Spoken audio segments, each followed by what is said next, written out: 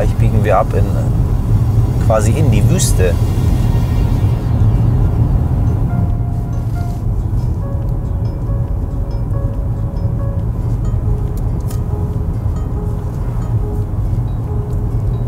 Ähm, wir treffen uns jetzt mit Brandon Cummings.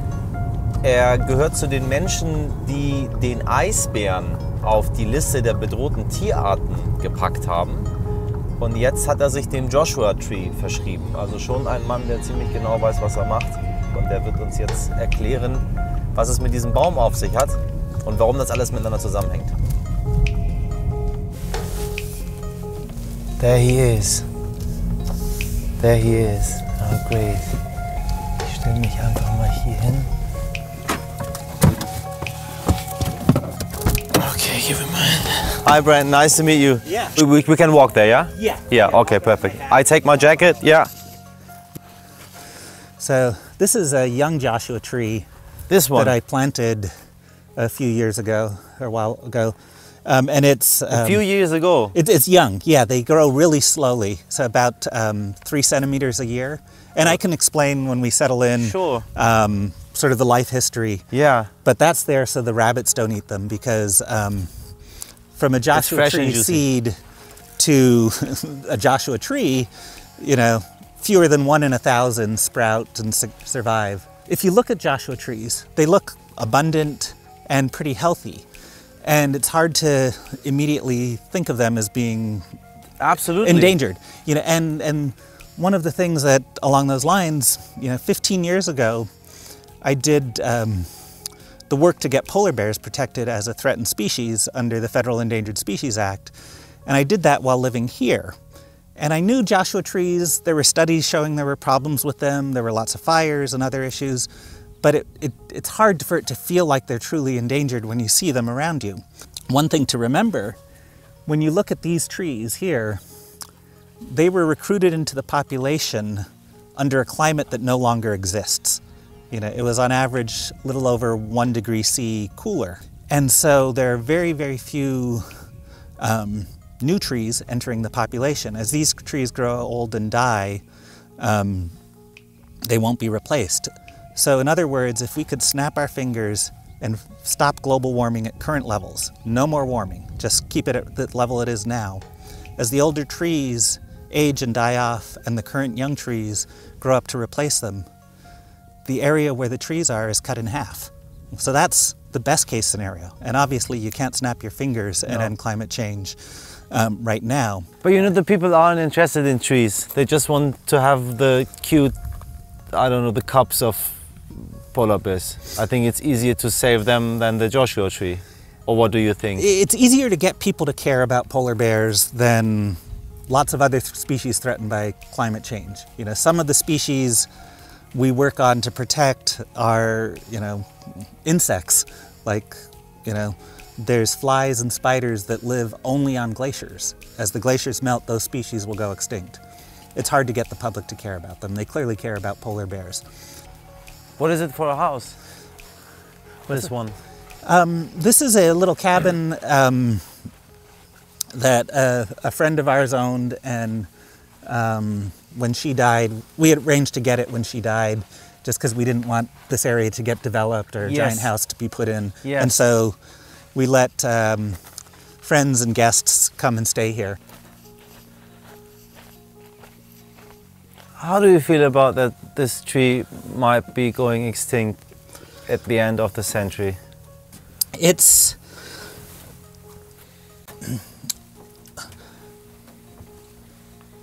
like I can read the science.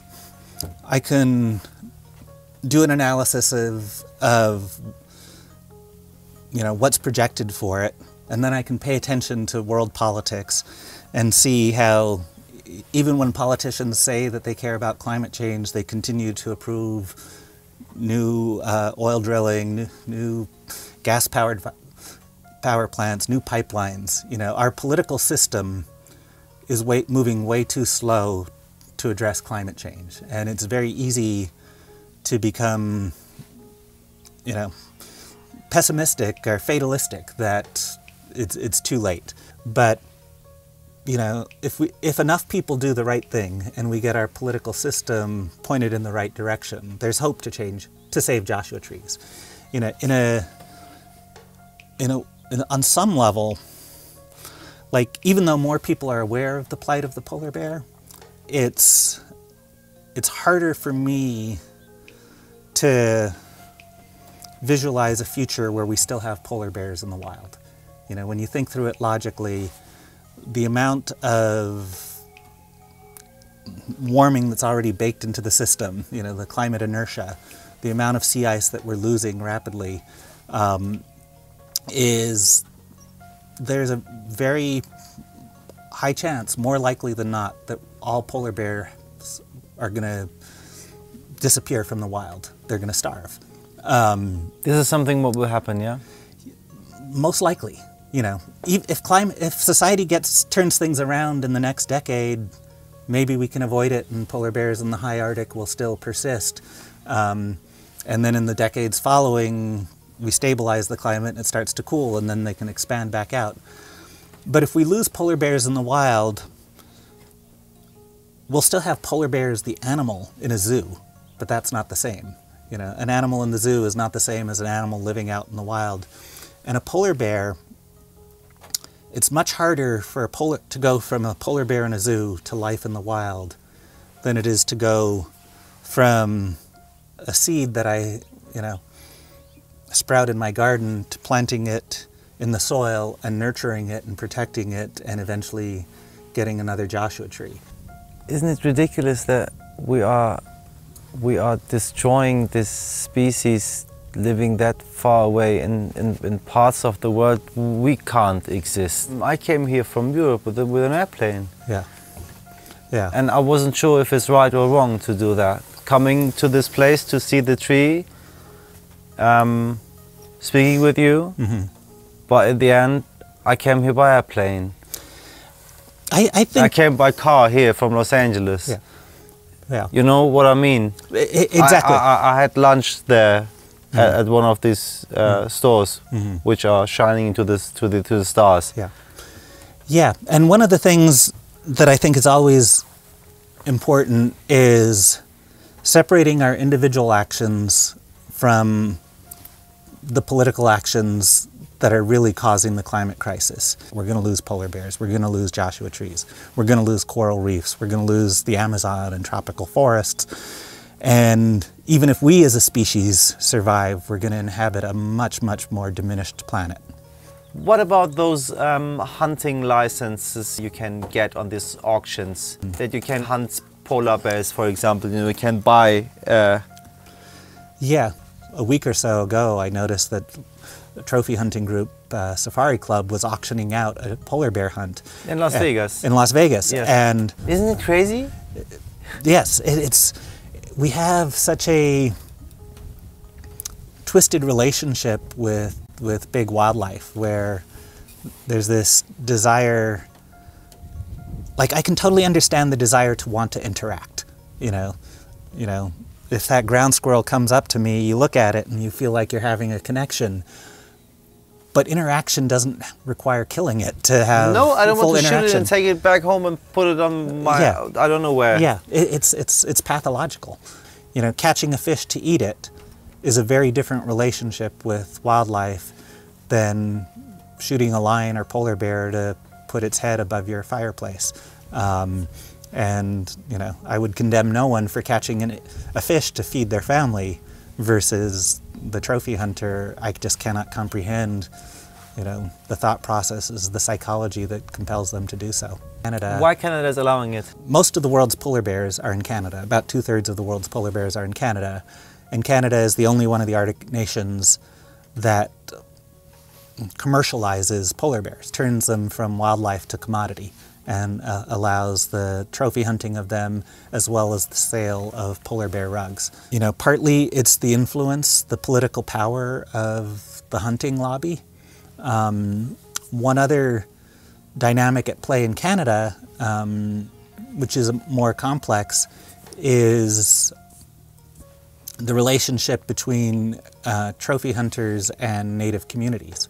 So um, in many of the northern communities in Canada, the indigenous communities, there's very little economic development.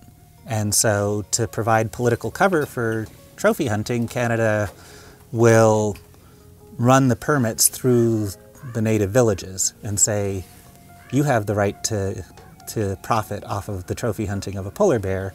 And um, so a white hunter from the US or from Europe or wherever comes in, Yeah. shoots the polar bear, the, the native village gets a little bit of money off of it. And so Canada then is able to argue, you know, We're this doing is, something good. we're doing something good by killing polar bears. Are they?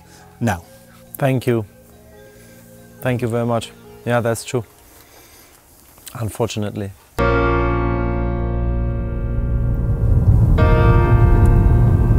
Ich meine, das wird es relativ bald nicht mehr geben. Ich glaube, da brauchen wir uns nichts vorzumachen. Dieser Baum wird aussterben. Diese jahrhundertealten Bäume, die hier stehen, werden einfach aussterben. Das ist irre.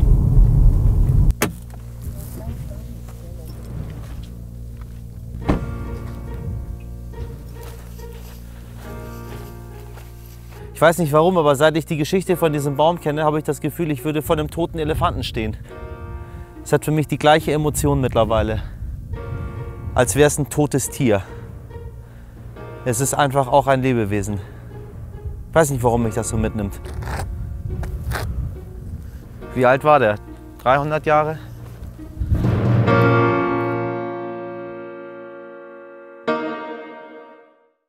Thank you so much for watching my documentary. I'm Michel and I want to raise a million dollars to save the polar bears. You know why? If the polar bears disappear one day, we will disappear either.